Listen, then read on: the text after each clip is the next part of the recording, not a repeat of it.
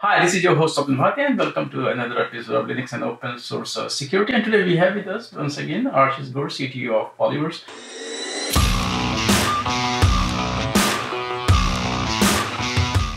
Archis, uh, a lot is happening in terms of security in container cloud space. Uh, I just shared a story a few hours ago. We don't even have time to just go through that.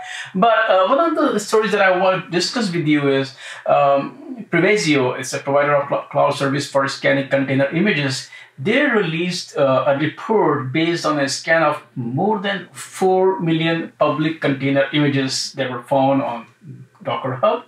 And they concluded that just over half, like almost 51%, were rife with critical vulnerabilities. I mean, we have discussed this earlier, and uh, that uh, pulling images are not only just security concerns, it's also compliance. You really do not know what's in those uh, images, you know, so running those is, is not a great idea. And when you see things like that, it becomes even more disturbing. So, first of all, when you saw the report, what was your first reaction that, hey, this is something we all know or something like oh my god it's so bad? No i i had a very um normal reaction. It's like oh, okay this this makes sense pretty much what i expect. The numbers are in line with everything i would have thought of. So so when we when we do look at it first of all we sometimes what happens in the security space is that we not we get scared very quickly you know. Oh everything looks scary but the fact is that we're talking about you know public container images and how how do you put public container images on docker? I can create an account and i can put everything anything there. So it's not it has gone through a vetting process or everything else. So uh, as you said of course it was expected but what we want to discuss here is that we companies should have not only companies anybody who is uh, of course everybody using container they should have kind of processes best practices in place what containers what images to use what registries to use. So that's what i want to focus on. So tell me that as you also said hey when i looked at it i'm like ah yeah of course. So tell me that what are the precautions people should take when they do use uh, you know container images from public places? You know, uh, there there's plenty, and and the the good news on this front, which I'm very excited about, is um, you know, as since we last spoke, I I've been more involved with the OpenSSF, and I've been um, you know participating in meetings and following all the things that are going on. Um, the one good news is this is a problem that people are aware of, right? Like we're we're now thinking about it, we're talking about it we know that it exists and it's a, it's a thing we need to worry about. Um, so obviously the, the the simple one is um, you know scan the images and and you know like look into what's in there. The the real problem though um, is it's not in scanning right because because um, and and we've gone over this before which is um, if if I was an operations person today. Uh, what does scanning do for me right it tells me that this image is bad but what makes it a good image? How do i make it a better image? How do i fix the image right? This is this is like the the problem we've had in dependency management um, since like time immemorial in a way. It's like oh this this dependency doesn't work. Okay well that's very useful information uh, and in a way it's not. Like what do you want me to do? Do i stop? Do i give up? Do i go back? Do i upgrade? Like what do i do about it? Um, and so really it, it comes down to that. So what can you do about it right? So so one thing uh, you know one big challenge with docker right now uh, all docker images is you have this you have this dependency tree where something upstream changes and there is no trigger downstream right? It, it has to be a pull model. Um, and so, you know, when you have your own CI CD pipelines, one of the things I recommend is always go from upstream, right? Uh, build images from scratch. And even if you change nothing, you change nothing in your code. So let's say you have a mom and pop, um, let's just say a little website that sells roses. Um, you haven't made any code changes, right? That's okay. Go through the CI/CD pipeline because that pipeline is going to go upstream, pick up better Linux packages, you know, patched operating systems, patched whatever. And so we need to just do that over and over again in general. Um, that is my sort of obvious operational answer to um, the patching problem. When we look at security, the thing here is that you have to number one, you know, stay ahead of the curve because you cannot be in the game of, you know, and of course, uh, you have to pay so much attention to where you're pulling things from. Keep your, you know, whatever you're running uh, fully patched.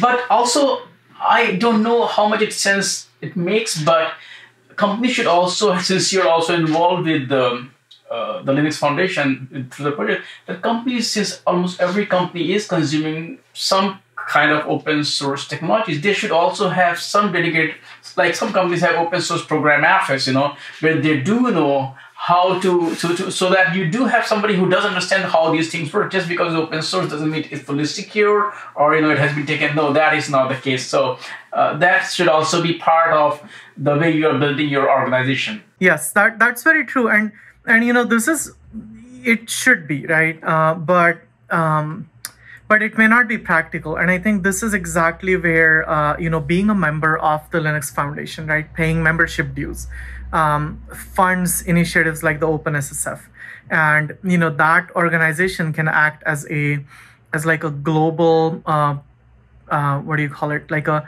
a, a patronage right that sort of looks over across all of open source so you don't have to spin up your own office. You don't have to um, vet every pro- project individually.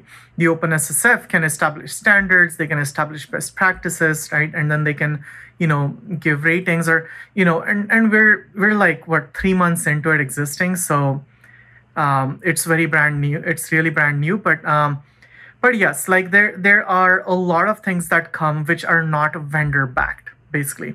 There is no one name that you can go blame. There is no liability that you can you can push onto someone. And you you just need to be aware that this is this is like a couch that was left on the side of a street and you've picked it up. Look it's free.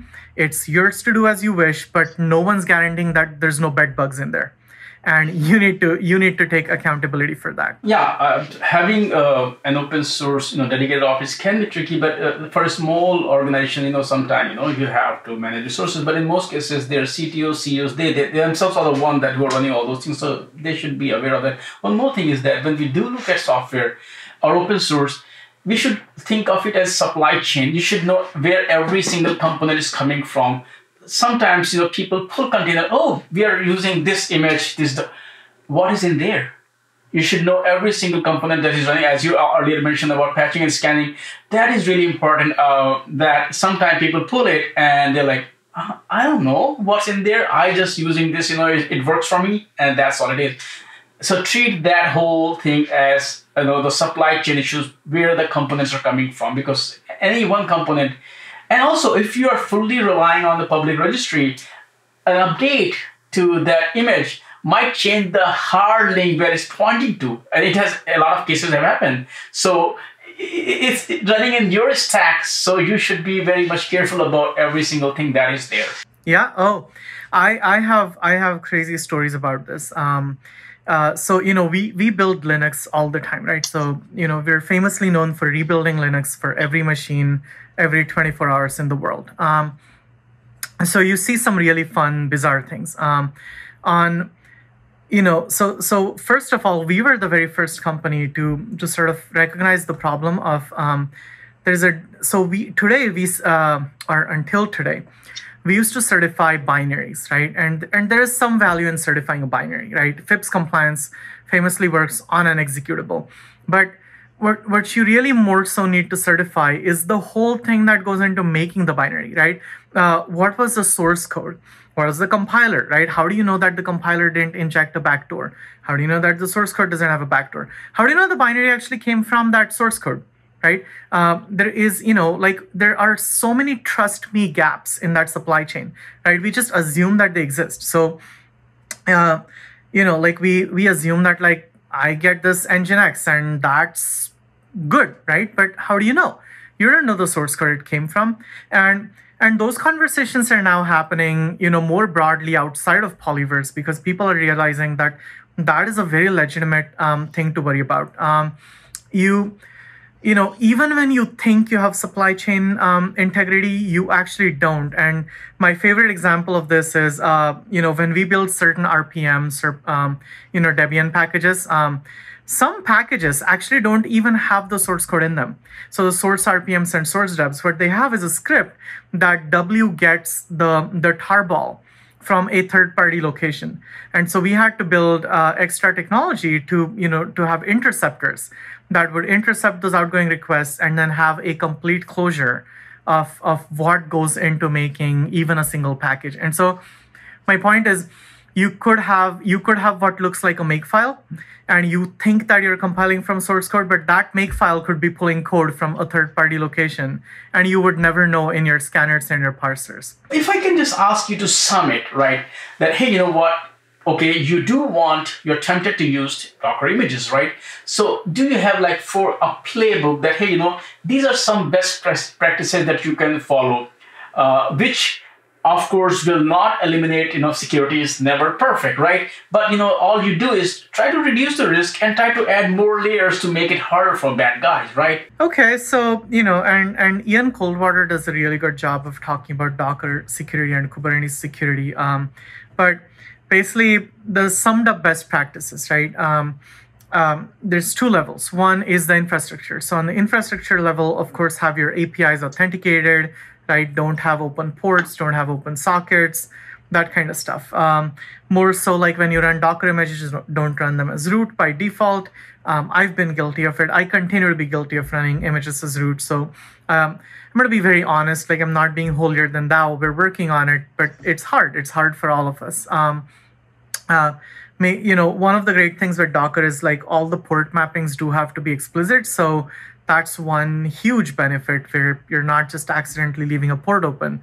Um, but beyond that, if you're, um, and, and this is how I would sum it up, which is if you're running like one of many things, so that's, you know, like one Nginx, one Apache, one this thing, one that thing, right? Uh, you're experimenting, right? Go take public images, no problem, right? You're not, you're not really running, uh, running a lot of co- critical data through it when you're running many of one things, um, that's when you start running into problems.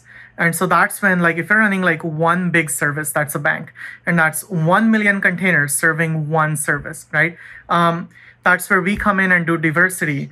Um, but but even more so than what we do, uh, you know, that's where build your own images, right? Uh, there's a there's a there's a between between a public Docker image and a private Docker image, which is a public Docker file. So what I would do is I would take the public Docker images Docker file and and put it in my CI CD and then make sure that it, it like I said, just I would just rebuild it once a day. And then I'm I'm pretty much patched in the last 24 hours. One thing you mentioned was that yeah, go ahead, use it, but in more or less like in your developer or testing it, not in the production number one. Number two is also uh, even if you look at one specific, you know, there are five, you know, there are five different repositories that are offering the same image. You know, you'll find Apache like by ten, by you know, ten different, you know, there. So you should also, I mean, you need to do some homework about you know where to pull that image. So so it's not as easy. Hey, just just grab it and get get done. And if you follow a lot of best practices that Archis mentioned here, and you know all the other things are there, uh, you know it's, it's it's no no harm. But as you rightly said, don't use those kind of things in actual production. You know, it's uh, it's supply chain, so you do need to make because that's part of your stack. So you will you should not plugging anything that you're pulling and plugging into your own stack and then offering it to your users. Archis, thank you for for not only discussing this uh, this uh, this report, which looked scary in the beginning, but actually it's not as you might say. Oh, that's the reality. It's public, you know, of images. But what is really important, which you shared, was the best practices that companies should follow when they do plan to use uh, Docker images. So once again, Archis, thank you for talking about that, and I look forward to talking to you again soon. Same here. Thank you for having me.